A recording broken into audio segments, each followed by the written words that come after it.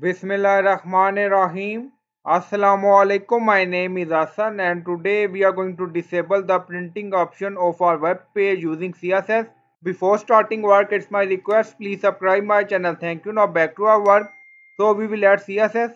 Right click on page and then you see print. So click on it. Now you see loading preview. Now you see page preview. So we are going to disable it using CSS. Now go to CSS section now add css now in css you see add the rate media print. Then you see html body display none.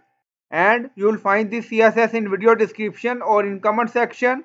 And you can use the css for html php or wordpress website to disable printing option. Now click on publish. We are using wordpress but you can use this css in html php website. Now go to web page and refresh the page now right click on it and then click on print. Now you see loading preview, display none, blank page. So I hope you like this video. Please like, comment, share, subscribe. Thank you for watching.